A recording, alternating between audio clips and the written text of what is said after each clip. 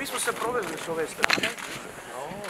Imali smo tu privilegiju. Da, da, da. da. Pa ćete idemo dalje. Vodnje ide e, nosivi sloj i asfalti. E, instalateri su već unutra, znači što se tiče instalacija vode. E. Budući da je planirano završenje ovog, ove posljednje dionice, čija je ukupna duljina negdje oko 8, malo nešto manje od 8 km, predviđena otprilike prije Uskrsa, tako da vjerujem evo da će sada nakon završetka ovih radova koji su u završnoj fazi, e, procedura tehničkog pregleda i svega onoga što treba napraviti prije samog otvaranja i puštanja u dionicu, dio- u pogon, odnosno u promet ove posljednje dionice, biti na vrijeme i biti kako treba.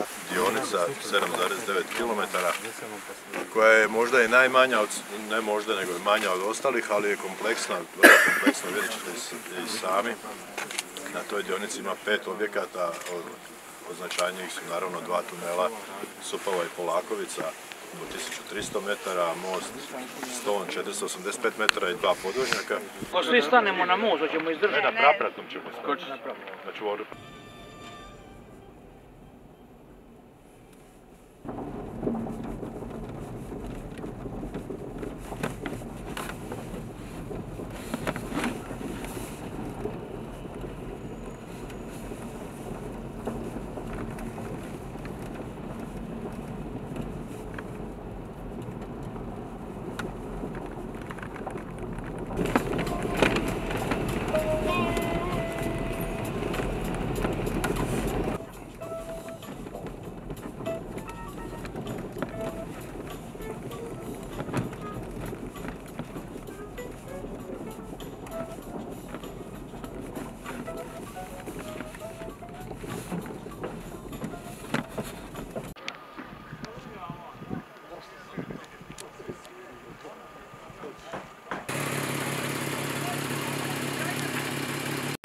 Mi vidimo čitamo. I lutamo.